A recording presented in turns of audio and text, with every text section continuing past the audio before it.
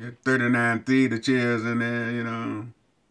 Had a full stage had to be what 20 by 20.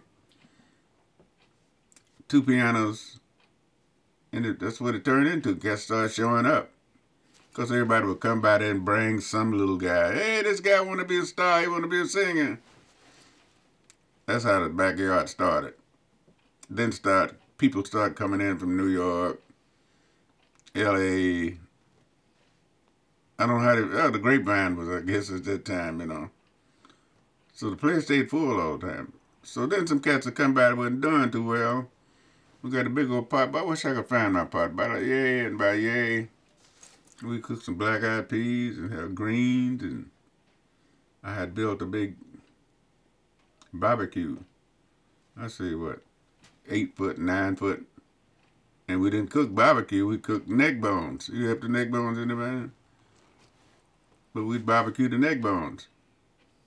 Pour the sauce over them suckers. You know what I'm saying? The same thing, just more bone than it is. You know. Then we'd play golf in the backyard. I had two holes. Got to play. So the place stayed packed all the time with some little dancer, some little vocalist, uh, that kind of stuff. That's what the backyard was.